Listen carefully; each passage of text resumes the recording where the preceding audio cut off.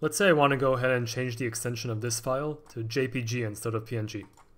So the classic way to do this is to move boat.png to boat.jpg. But instead of doing that, you can save some time typing. So let's remove this, and I'm going to add a little bash magic over here. This will uh, change the extension from PNG to JPG. If you pass the same thing to echo, you can see actually how this works. This just expands to two of the same word with different extensions. So the second tip is to use a feature called reverse search. So instead of just using your arrows to navigate history, just go ahead and press Ctrl R. You can start typing something from the history. So start typing a command you typed before, and it's just going to autocomplete to the latest command.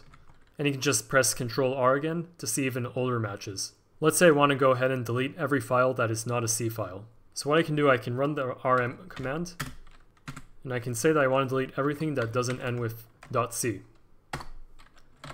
As you can see now, I'm only left with the .c files. Subscribe for more tips and thanks for watching.